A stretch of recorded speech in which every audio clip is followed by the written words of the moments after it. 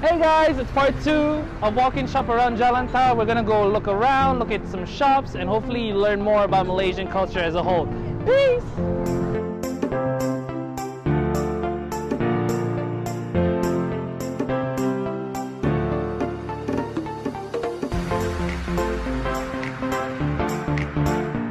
When you first walk into Jalan TAR, one of the first stores you'll see besides Sogo is Cosmic Silk. This is the first place you'll get to see and embrace Malaysian culture. Let's have a look.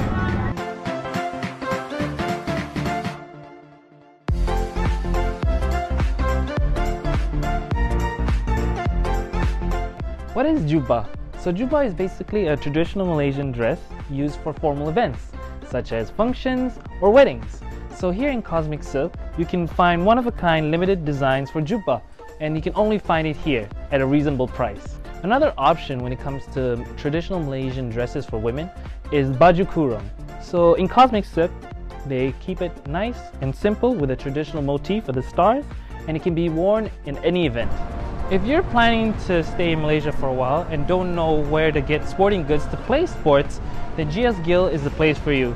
One of the oldest storefronts here, they have everything that you need. Let's go see. Established in 1946, GS Gill is one of the very first sports shops in Jalan TAR. So as always, they cater to all kinds of Malaysians, depending on their sporting needs. If you're a sportive person and just love sport clothing, here at GS Gill, they have their own in-house brand, Eider, which is not only reasonably priced, but also good quality. I hope that I can fit into these pants. I tried on these pants and they didn't really fit, but I'm pretty sure if you shop here at GS Gill, you find something that fits you.